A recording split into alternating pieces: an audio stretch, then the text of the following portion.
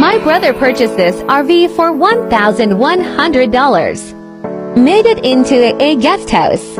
Too many of us ultimate dream home wish list item.